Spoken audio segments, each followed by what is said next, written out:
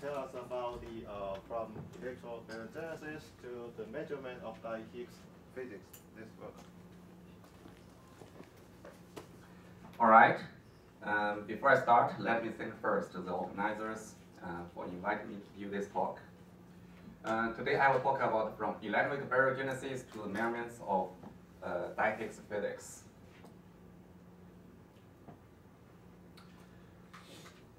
My talk will start from the uh, from one of the biggest puzzles in the universe, cosmic baryon asymmetry.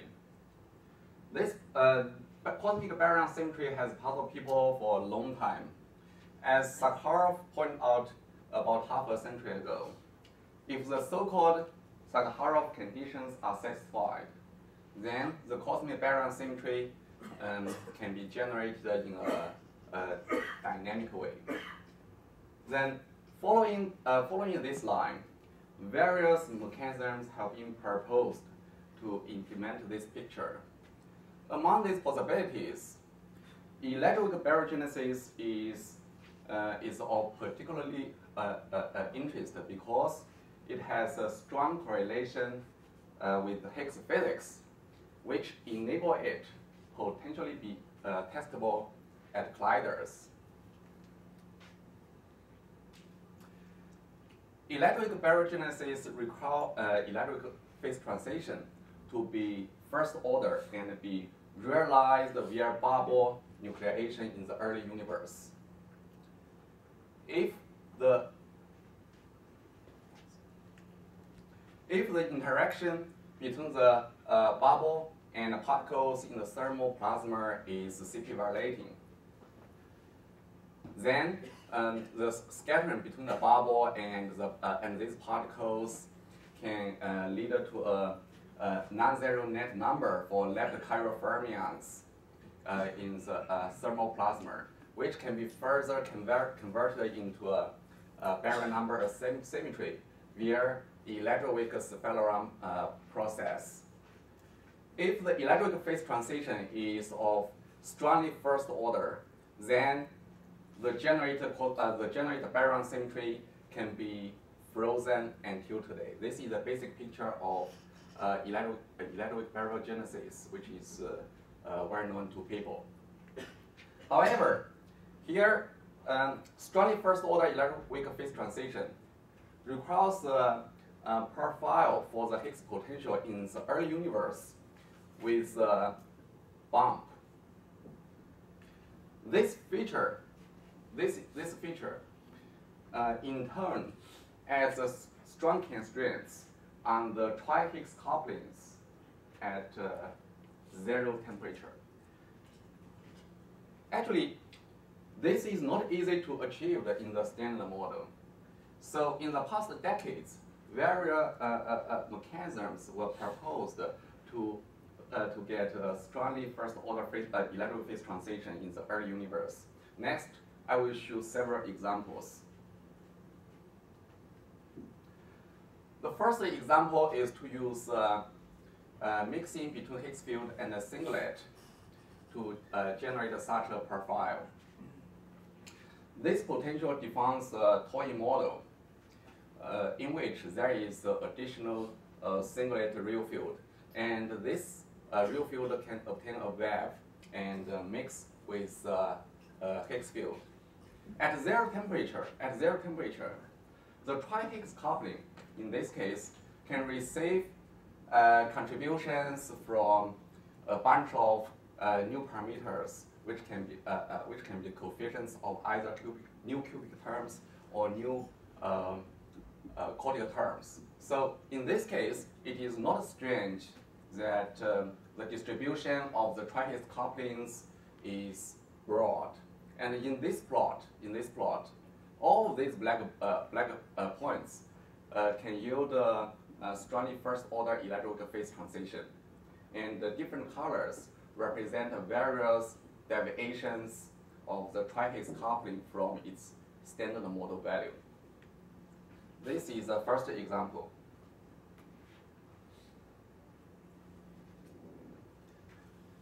In the second example, the second example, Um, in the second example, people use uh, uh, interaction between a Higgs field and a charged scalar to generate such a profile at, uh, um, at the uh, quantum level. Electroweak baryogenesis in the minimal supersymmetric standard model falls into this uh, category, where the role of, um, of this charged scalar is played by, uh, by stop quarks. This is known to us. In this case, in this case, the distribution of the tri-Higgs coupling values is more convergent to a region where uh, uh, uh, the where the tri-Higgs coupling value is larger than its standard model value. To understand this, we can um, um, we can consider a, a toy model where uh, only one additional charged scalar is introduced, and uh, let's consider the limit where the uh, master for this scalar field is small. In such a case, in such a case, the tri-Higgs coupling at zero temperature can, can be solved out. It turns out that the value of the tri-Higgs coupling is about 1.5 times of the uh, standard model tri-Higgs coupling. This is a second example.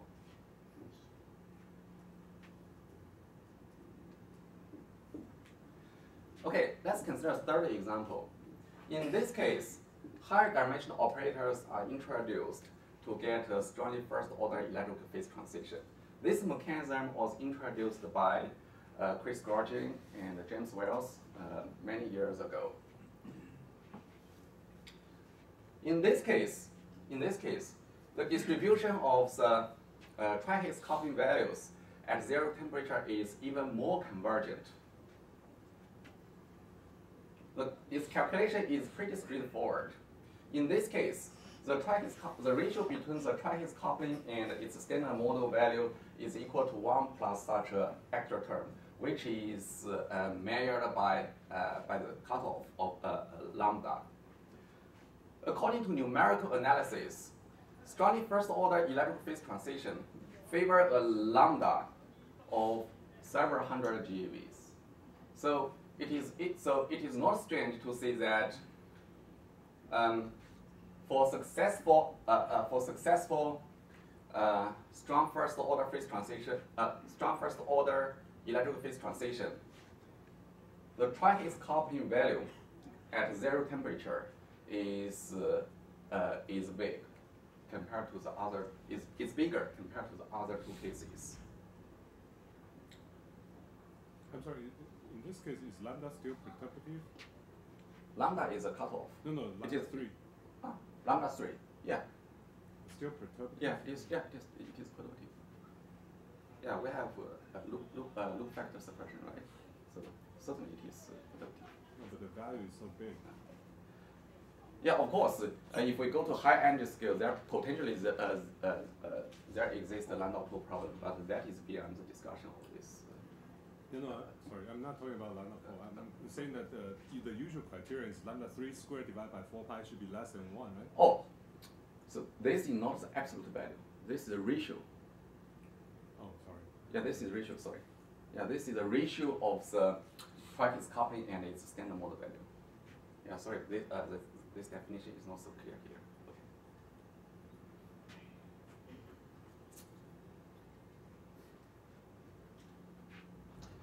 Okay. According to the uh, illustration of these examples, we see that the tri-Higgs coupling provides a probe for the electroweak, uh, uh, provides a probe for uh, for the strength of the electroweak phase transition in the early universe and uh, uh, of the viability of electroweak baryogenesis.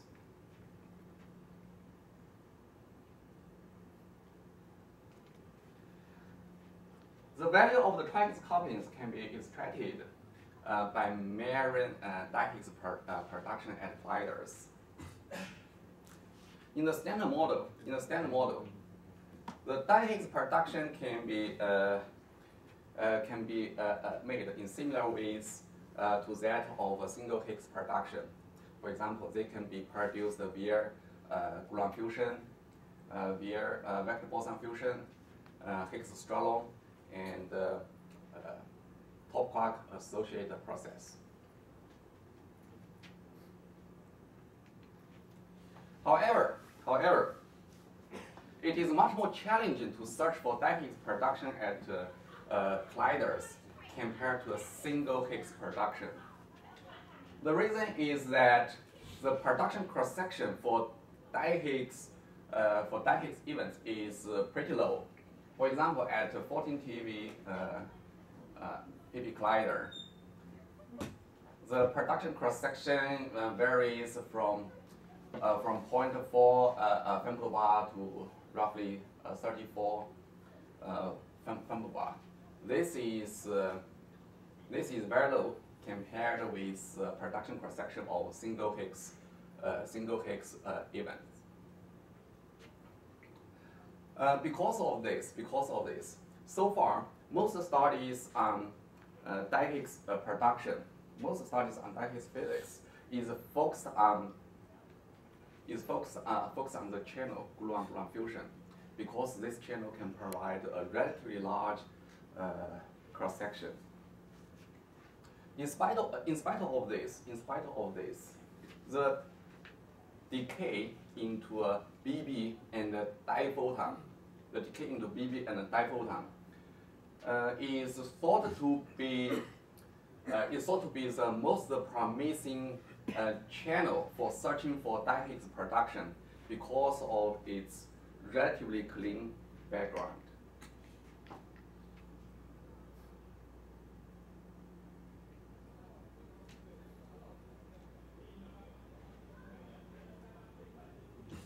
With the information about the um, uh, measurement of Higgs production cross-section, the, uh, the value of the Higgs coupling can be uh, can be figured out, and uh, its precision can be estimated uh, via the differential cross-section uh, of this process. Here, f can be understood as the slope of the uh, the slope of the curve for the Higgs, uh, uh, uh production.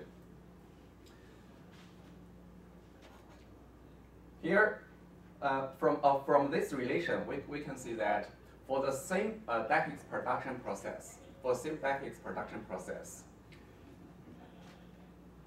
if the slope is large, if its magnitude is large, then the precision then the, the precision of the Higgs coupling measurement will be relatively high.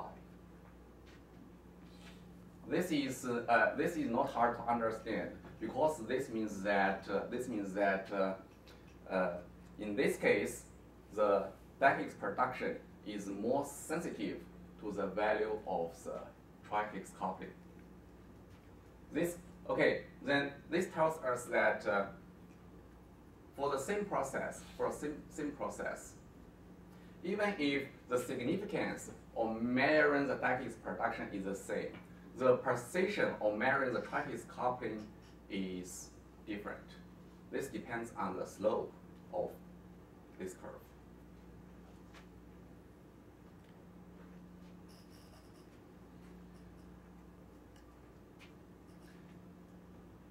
Even though uh, PP to Higgs Higgs um, is uh, uh, has a uh, has a large production cross, a relatively large uh, production cross section. It has a couple of limitations in measuring the Higgs coupling.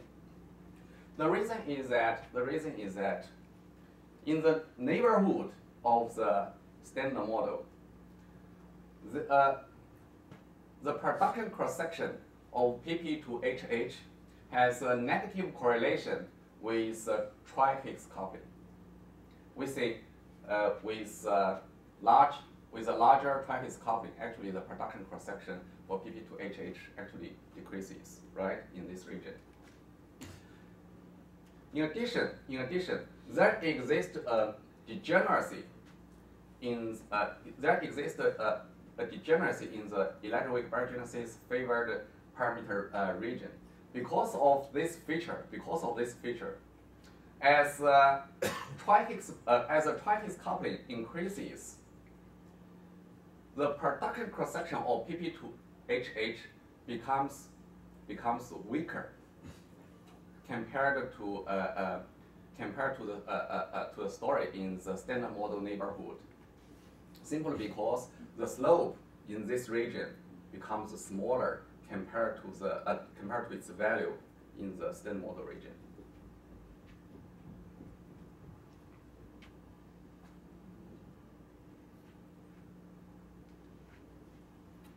Therefore, to explore the di-Higgs physics, a strategy complementary to the PP to HH is needed.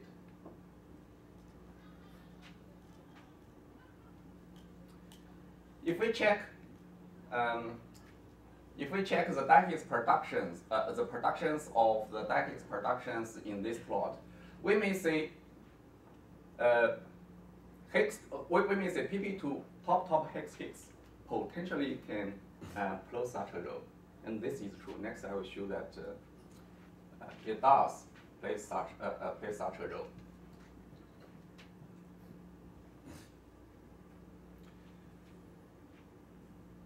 Different from the PP to Higgs Higgs, the production of PP to TT Higgs Higgs has a positive correlation with uh, tri-Higgs coupling in the standard model neighborhood. This led to a double enhancement of the uh, sensitivity with a positive shift in the, uh, uh, in the in, with a positive shift in tri-Higgs coupling. Yeah, the reason is simple. First, it leads to a higher signal rate. Second, the uh, production cross-section of this channel becomes uh, uh, has a stronger dependence on the tri-Higgs coupling in this region.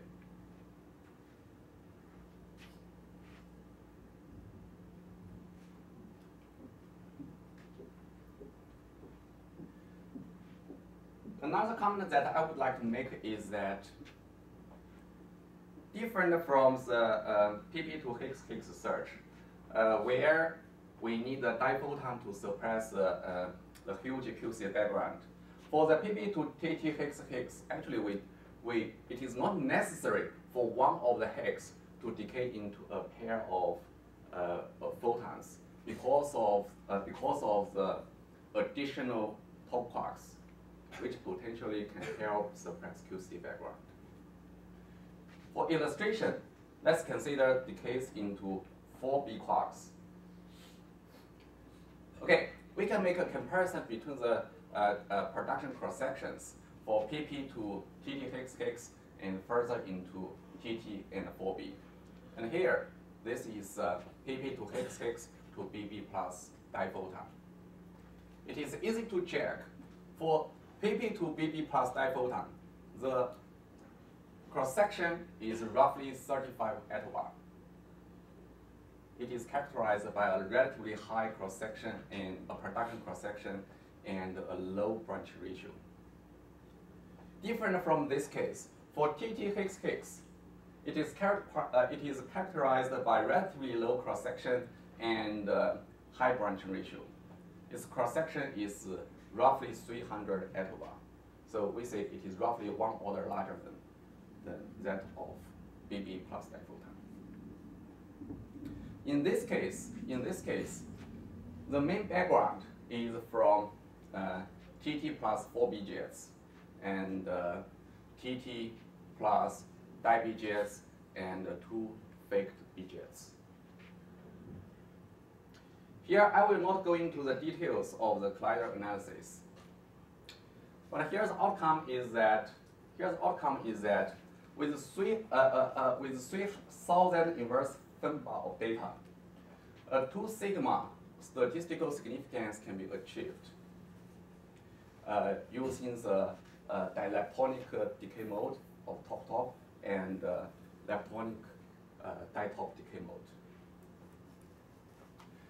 This is comparable. This is comparable with uh, statistical significance achieved uh, via the PP to Higgs Higgs to BB plus diphoton uh, channel. But here, I would like to uh, mention that uh, in, um, for the, for the TT, TT Higgs, uh, Higgs searches, uh, there exists a theoretical uncertainty. This is because so far, so far, only leading order calculations for the cross-section of TT plus 4B and TT uh, plus BBCC are available. So to suppress this uncertainty, NLO calculation uh, or data-driven method are needed. This is a comment about this search.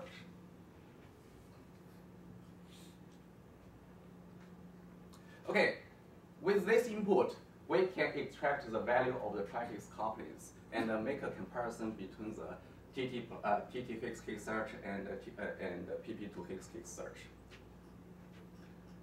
In the neighborhood of the standard model, just using this, this relation, we found that, okay, a statistical accuracy of 150% uh, can be reached for TT Higgs, Higgs Higgs to TT4B. As a comparison, the statistical accuracy is 60%, whereas a, a BB diphoton channel.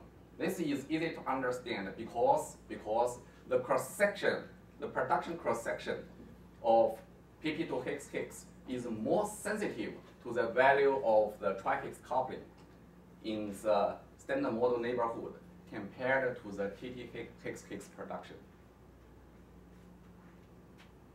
It is bad. However, this is not the whole story. As I mentioned, as I mentioned,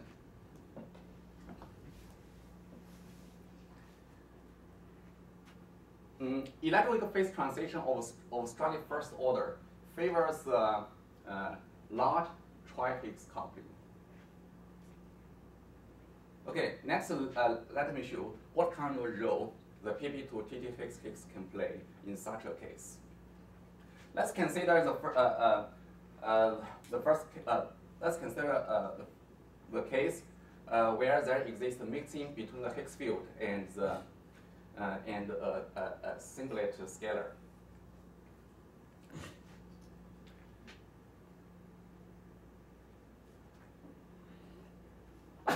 as I as I introduced as I just introduced as I just introduced in this case the distribution of the tri-Higgs coupling at zero temperature is pretty broad.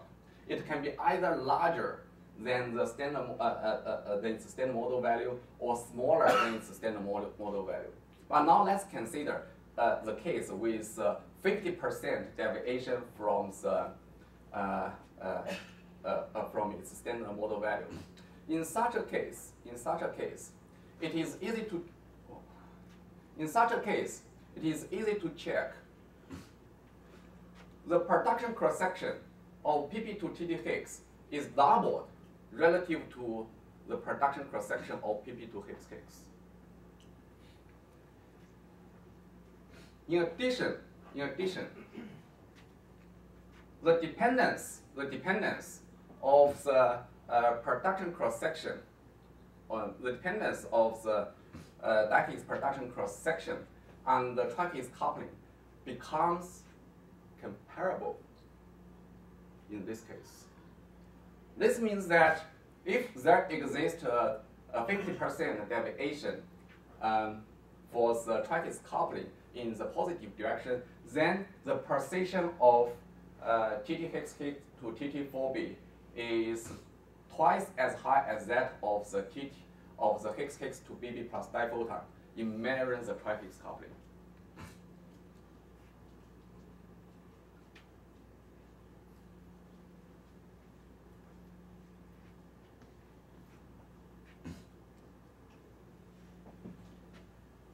As for the other two cases, where um, uh, uh, uh, where the uh, bump for the Higgs potential is generated by uh, by some additional charged scalar at the quantum level, and uh, and the bump is generated by introducing higher dimensional operators. In these two cases, as, uh, uh, as we've already seen, um, uh, the distribution of the tri-Higgs coupling is more convergent, uh, is more convergent, and a larger tri-Higgs coupling value is favored. So we can easily conclude that the TT Higgs Higgs production can play a more essential role in these two cases.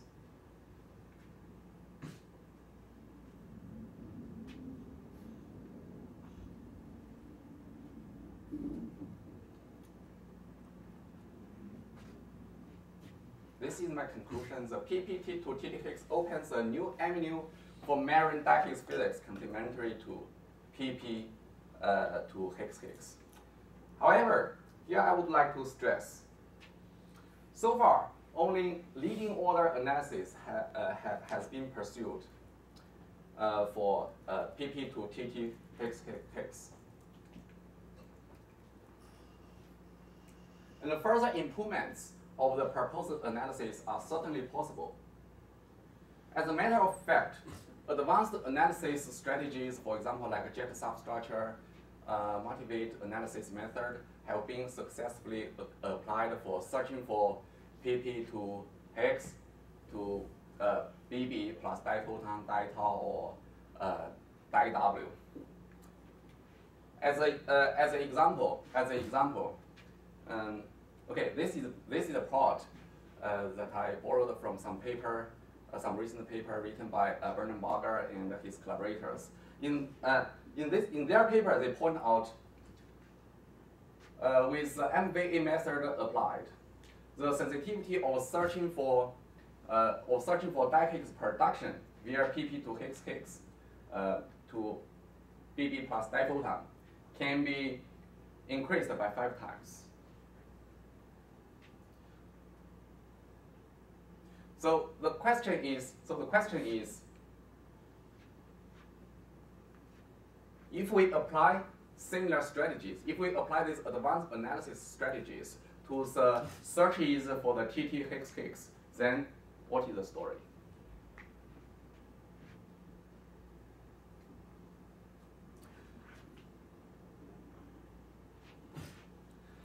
A second, uh, uh, a second question that uh, uh, we also need to address is that the di-Higgs production can receive contributions not only from tri-Higgs coupling, but also from uh, from some other uh, new physics like, uh, like this higher dimensional operator.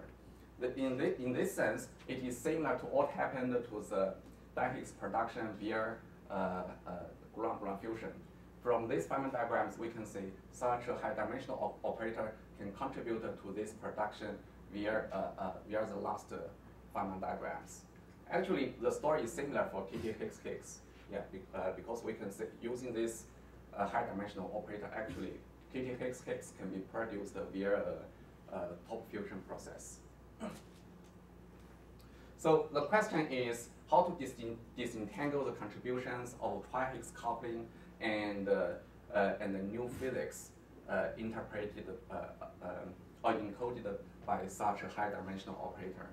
And some preliminary studies have been done by Chuan and, uh, and Yellow for the uh, for the PP to Higgs Higgs already. If you are interested in this topic, you can check you can check their paper.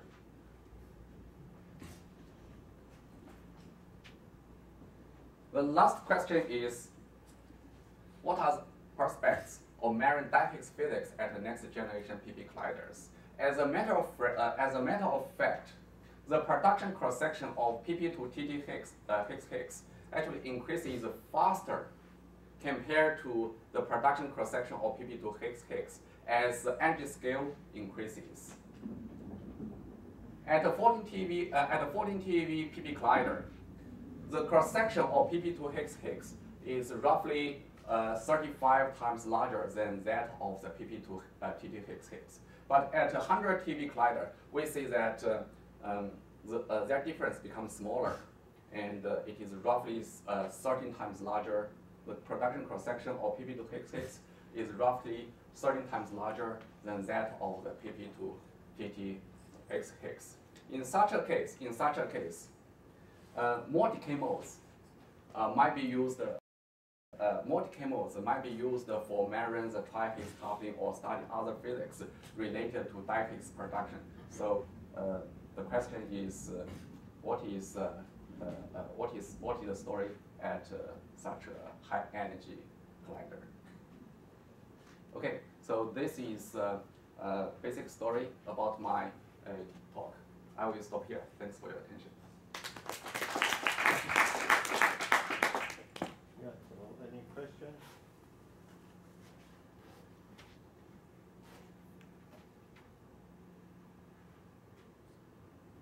You do have so many b-jets. Are all the b-jets are activated in the research? Yeah, the answer is uh, uh, the answer is uh, yes. Yes. Yes. But here I think that, um, uh, as I just mentioned, this is just a linear order analysis. This is, may not be necessary. For example, we can uh, require probably one or uh, uh, uh, one or two less digits. Um, probably the sensitivity will be improved. But I think that this is worth to to check. But as I just mentioned, as I just mentioned, I think it is more worthwhile to check um, how much the advanced analysis method can improve the sensitivities of uh, Marin Higgs physics via TTHH, similar to what people have done for, uh, for PP2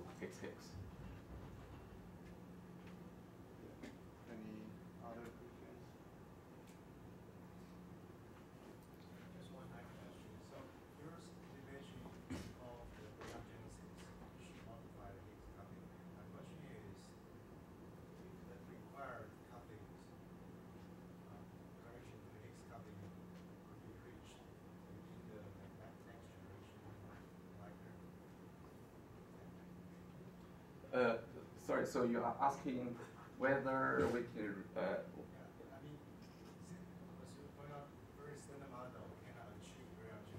Yes.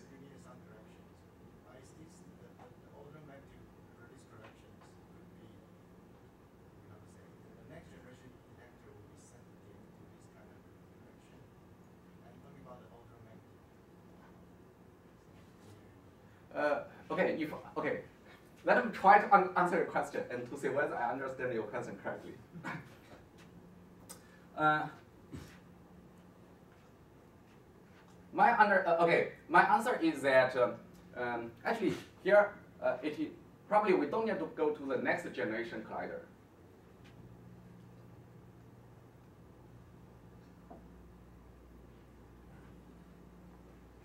From these two plots, from these two plots, we see that to get a, a, a strongly first order electroweak phase transition, the deviation of the tri-Higgs coupling from its standard uh, from its standard model value actually uh, to be large. From these two plots, we say okay, it varies from, for example, here it is about 1.2 to roughly 2.2. And then if we go to uh,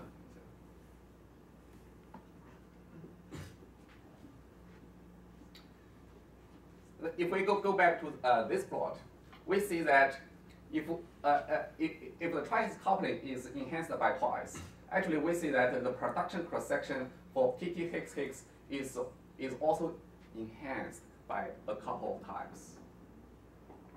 This means that at a high luminosity LHC, we already have a good sensitivity, uh, we, we already have a good sensitivity to probe uh, to probe these scenarios. It is not necessary to go to a, a next generation um, PP collider. However, however, if we consider a first case, if we consider a first case, which is more uh, complicated, we see that the deviation of the tri-Higgs coupling uh, from its standard model value can be either uh, positive or negative. And there also exists some points which is close to, which is consistent with uh, uh, with uh, what happened in the standard model. So to probe this nightmare region, then probably we need to go to uh, next generation pattern finder. Sorry, so in, in this case is the standard model Higgs plus a singlet? Yes, standard model Higgs plus, or standard model plus uh, singlet real scalar. But here there is no discrete uh, uh, symmetry. So a mixing between the Higgs field and uh, this singlet scalar is allowed. So this is really tree level effect. Yeah, tree level.